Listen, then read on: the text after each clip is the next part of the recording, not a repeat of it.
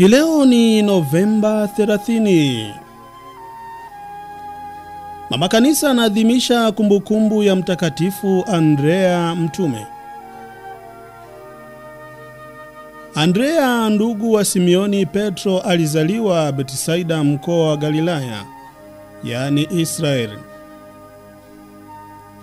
Kwanza alikuwa mvuvi wa samaki na mwanafunzi wa Yohane Mbatizaji. Halafu alikuwa ndiye mtume wa kwanza aliyemfuata Bwana wetu Yesu Kristo.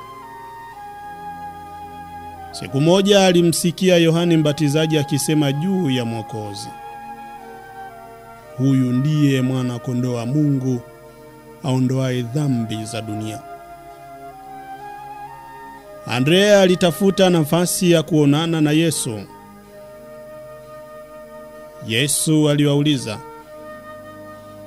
mnatafuta nini? Andrea na Yohane mtume wakamjibu, Mwalimu, unakaa wapi? Hapo Yesu aliwaambia, Njoni nanyi mtaona. Na hao wanafunzi wakamfuata Yesu na kuona mahali alipokaa na kushinda kwake siku ile.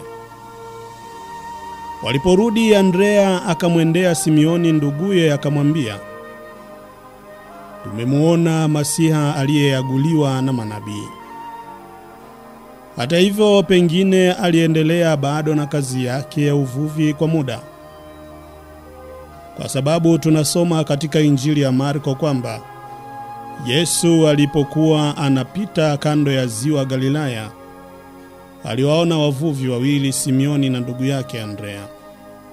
Akawaambia, nifuateni nami nitawafanya wavuvi wa watu. Pale pale waliacha nyavu zao wakamfuata.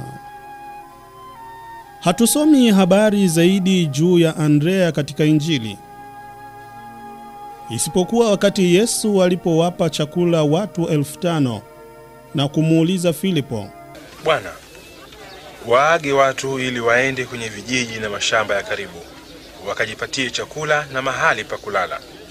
Hapa tulipo ni nyika tupu. Wapeni ninyi chakula. lakini hatuna chochote ila mikate mitano na samaki wawili tu.